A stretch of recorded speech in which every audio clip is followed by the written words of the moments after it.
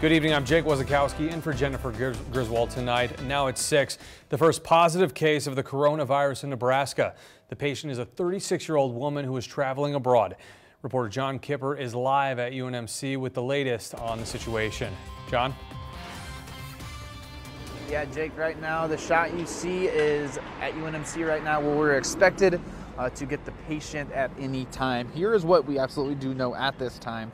Uh, a 36 year old woman recently returned from the United Kingdom and just yesterday went to a Methodist hospital in Omaha where she reported respiratory issues that she's been having for the last 12 days.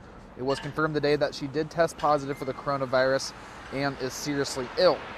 And so it was announced that she will be headed to the biocontainment unit.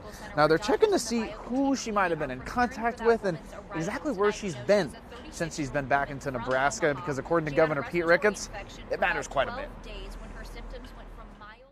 For example, if she was already symptomatic and was staying home the entire time, then obviously there's a lot less risk than if she was going to work. Again, was one of the reasons why we tell people, if you're sick, stay home. We just don't know those answers to the questions right now.